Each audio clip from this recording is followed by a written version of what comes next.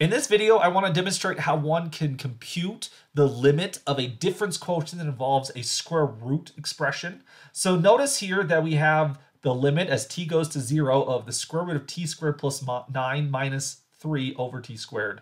If we just were to naively plug in t equals 0, because after all, with a lot of these limit calculations, if you can just plug in the number 0 in for the variable, that often does the trick. So what happens here is you'll see that you get the square root of 0 squared plus 9 minus 3 over 0 squared. The denominator, you can now see a problem there. 0 squared becomes 0. But just because the denominator goes to 0 doesn't mean there's no hope. In the numerator, you're going to get the square root of 9 minus 3, which the square root of 9, of course, is a 3. We see the numerator is going to become 0 over 0. So actually, there is hope because we have this indeterminate form 0 over 0. What 0 over 0 suggests to us is that we need more information to compute this limit. In fact, we probably need to simplify the function in some way or another. So how does one do that? Well, with you have a square root expression in your difference quotient. My suggestion to you is we want to rationalize the numerator.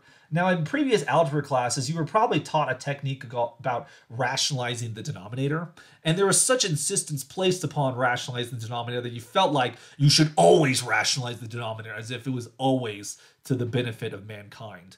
Uh, frankly speaking, rationalizing the denominator, although it's an important technique, is very oversold. That the reason we rationalize denominators is so we can add fractions that involve uh, square roots and other rational, uh, other uh, radical expressions. But it's not a silver bullet that solves all problems. In fact, in this situation, it'll be much more preferable to have an irrational denominator than an irrational numerator. So we're going to rationalize the numerator in this situation. So what that means again is you're going to take this expression with two terms. You have your first term right here, which is the square root, and then you have the second term, which in this case is just a 3. You're going to switch the sign of this expression. So we have the square root of t squared plus 9. And then we're going to take plus 3. We're going to times the top of the fraction by that.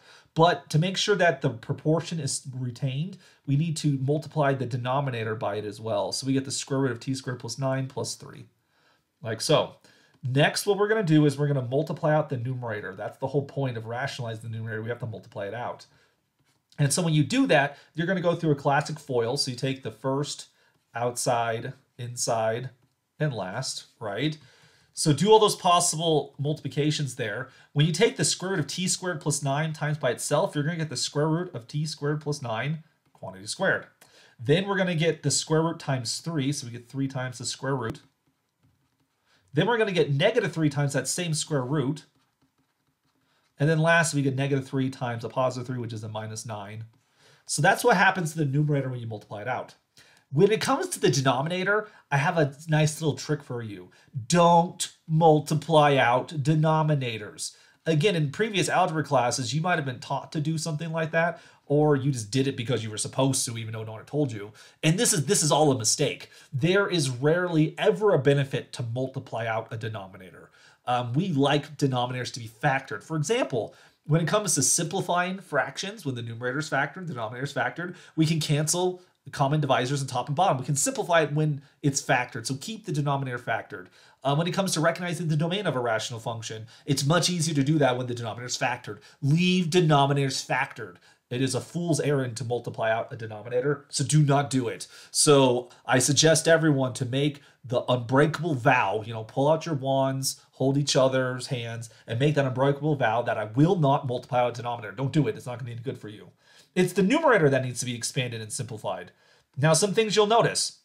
You have 3 times the square root of t squared plus 9. You have negative 3 times the square root of t squared plus 9. Those are like terms, and when you combine them together, they actually cancel each other out. This is the main idea behind multiplying by this conjugate. This difference of the negative and the plus, we're playing off of the difference of squares factorization. a squared minus b squared equals a uh, minus b and a plus b. So if you have if you start with a minus b, if you times it by its conjugate a plus b, you'll actually get this difference of squares that in the middle terms cancel each other out.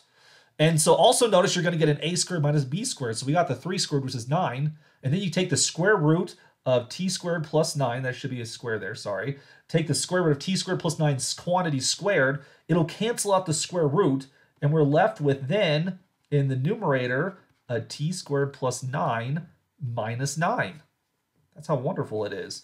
Then you have your t squared on the bottom times the square root of t squared plus 9 plus 3 as t approaches 0. Now, after we took care of the middle terms from the FOIL and we squared the square root, we now have a t squared plus 9 minus 9. The plus and minus 9 cancel each other as well.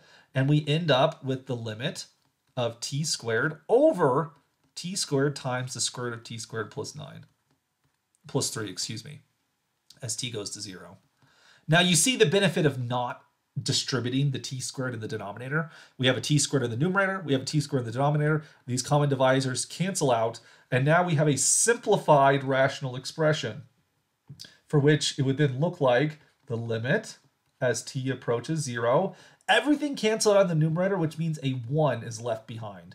In the denominator, we have this t squared a square root of t squared plus 9, and then there's a plus 3. It's not the, it, it's like the thing we started off with, but now it's a plus 3 instead of a, a, a minus 3.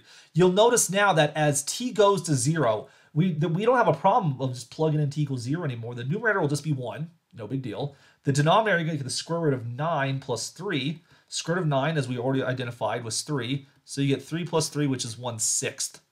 So because we were able to simplify the difference quotient, we then were able to evaluate the limit as t went to 0, and we see that the limit in this case is 1 over 6. So if ever you have a limit of a difference quotient involving a square root, um, I would recommend to rationalize the numerator by multiplying by the conjugate. With other radical expressions, you can also rationalize the numerator, although that technique is a little bit more complicated than what we saw in this video.